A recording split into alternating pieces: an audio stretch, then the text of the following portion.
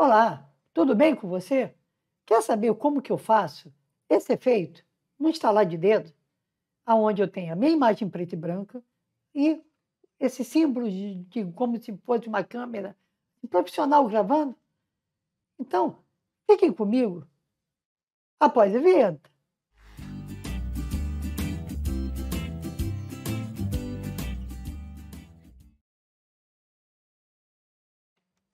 Olá, estou de volta, mas antes deixa eu me apresentar. Meu nome é José Fonseca, eu atuo na área de produção de videoaulas. E hoje eu vou explicar para vocês, como eu falei antes da vinheta, como que eu faço aquele efeito do preto e branco. Esse efeito aqui, né? onde eu ponho. E como vocês podem observar, eu uso o OBS Studio para fazer isso certo? Então, vamos lá que eu vou mostrar para vocês como que eu faço isso. Vou começar fazendo um perfil novo no meu OBS. Venho aqui, perfil novo. Vou chamar de câmera preta e branca. Meu perfil. Dou um OK. Certo? Vou zerar minhas cenas. Vou chamar também de câmera, preto e branco, um, porque eu não posso usar o mesmo nome de uma cena. Tá? Eu botei um só para diferenciar. Então, eu tenho aí um perfil novo, certo? vazio, ó, sem cena nenhuma, só a padrão que vem, e sem fonte. Então, vou começar a criar uma cena. Eu vou deixar essa aqui, que essa eu vou usar como a cena principal dessa troca de, de efeito.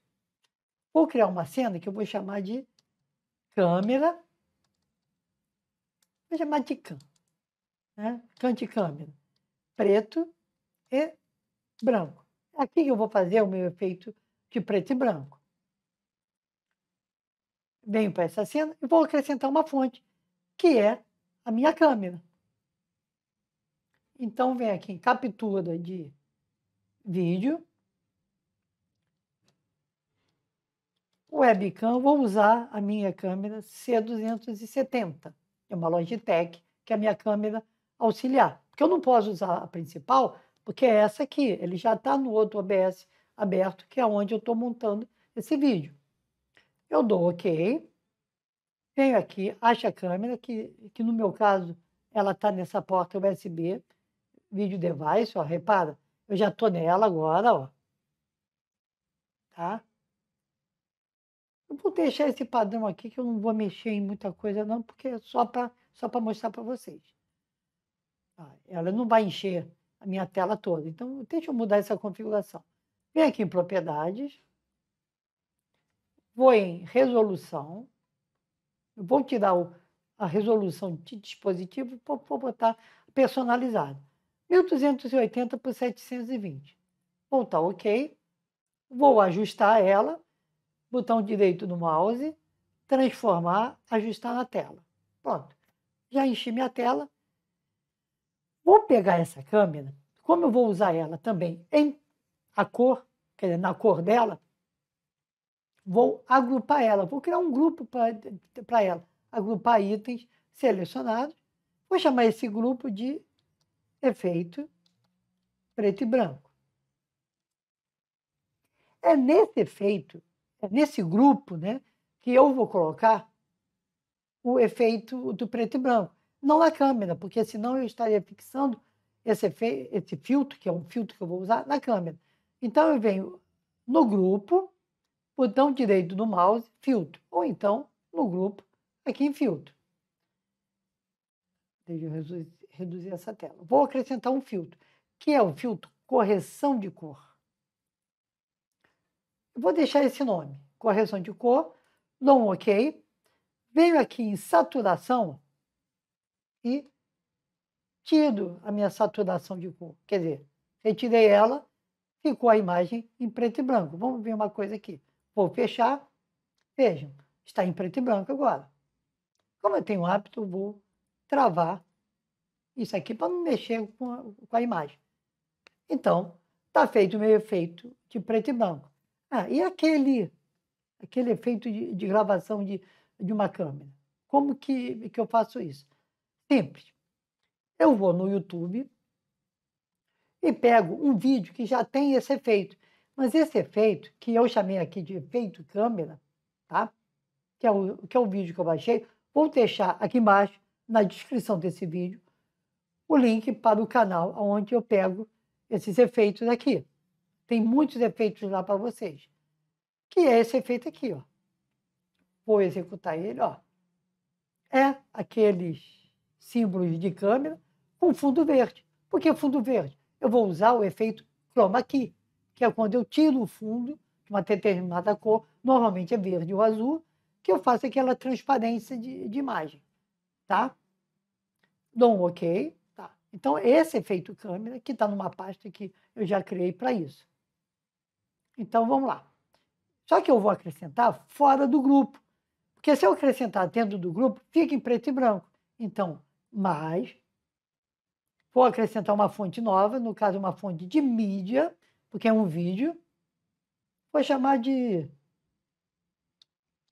vídeo 1, tá? Um OK. Vou procurar, explorar. Vou na pasta onde está este meu vídeo. Que eu já tenho umas pastas aqui já pré-selecionadas.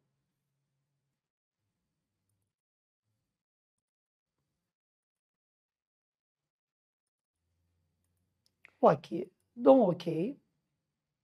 Vou colocar ele para loop. Deixa eu melhorar essa tela para vocês verem.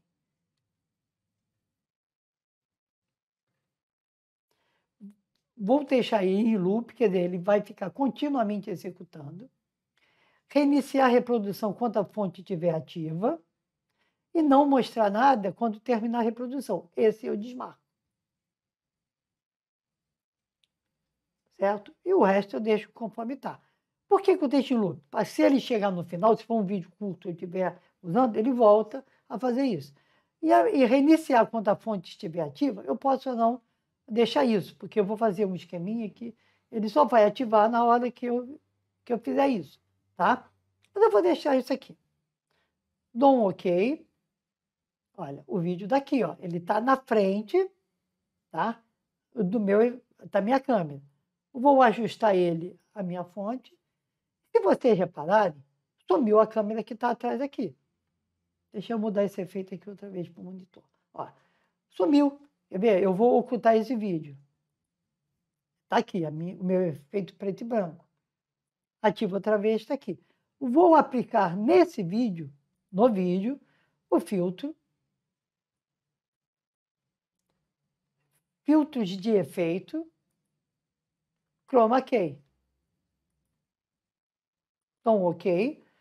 Vou usar o próprio verde, tá? Repara que ele já subiu aqui o verde. E vou fechar. E olha, é justamente o que a gente quer. Aí vocês podem me perguntar, ué, e a câmera em preto a cores? Como que eu faço? Eu gosto de trabalhar muito com fontes e cenas. Vou criar mais uma fonte aqui, mais uma cena, que vou chamar de can cor.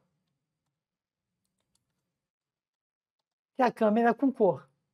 Um OK, está vazio, mas captura de vídeo Vou pegar essa câmera, que eu já, já configurei ela, e vou colocar aqui. Então, tenho duas câmeras. A preto e branco, com esse vídeo rodando, e tenho a colorida. Nessa cena, né, eu falei que eu ia fazer, ia mostrar para vocês como que eu faço isso. Essa troca rápida, simplesmente pela cena. Eu poderia vir aqui, ativar essa, ativar essa, e ficar brincando com cena. É uma possibilidade, mas como normalmente a minha cena é complexa, como vocês podem ver aqui, quer ver? eu posso movimentar minha câmera ó, de posição, aonde eu quiser, posso dar zoom nela. Esse defeito eu faço dentro de uma cena única. Então, eu vou colocar isso aqui, esse efeito, nessa cena vazia. Mas vou acrescentar uma cena, que é a cena da cor. Ó, repara, veio o vídeo, a cores agora para mim. Vou acrescentar mais uma outra cena, que é a cena do preto e branco. Olha, veio o preto e branco, tá?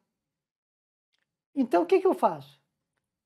Quando eu quero, eu deixo inibido esse vídeo aqui, essa cena, está preto e branca. Eu deixo inibido, ó, repara que aqui tem, deixa eu subir com a minha câmera aqui rapidinho. Ó, repara que aqui, ó, repara que aqui está em preto e branco. Tá? Aqui, aqui em cima. E quando eu ativo, ó, preto e branco, cor, preto e branco, cor, tá? Eu ativando a fonte, essa fonte daqui é a cena com esse efeito, ele vai, ó. Eu desativando, ele some e fica só a cor. Claro que eu faço isso, eu estou aqui clicando com o mouse. No meu caso, eu costumo usar um equipamento chamado Stream Deck. Aqui eu, eu programo essas teclas para trocar rapidamente a minha fonte ou a minha cena. Então, bem simplesinho, eu não preciso fazer muita coisa para ter esse efeito. Vou deixar, como eu disse, na descrição desse vídeo o link, o link para o canal onde eu peguei esses efeitos de câmera, de efeito de câmera e outras mais que tem lá. Tem muito efeito, tá? Então, pessoal, espero que vocês tenham apreciado o vídeo. Qualquer dúvida, deixe aqui nos comentários. E como praxe, não esqueçam de dar um like nesse vídeo e se inscrevam no meu canal se você não é inscrito. E não deixe de me acompanhar nas minhas redes sociais. Sempre tem novidade lá. Então, pessoal, até a próxima. E não se esqueça, espero você aqui sempre.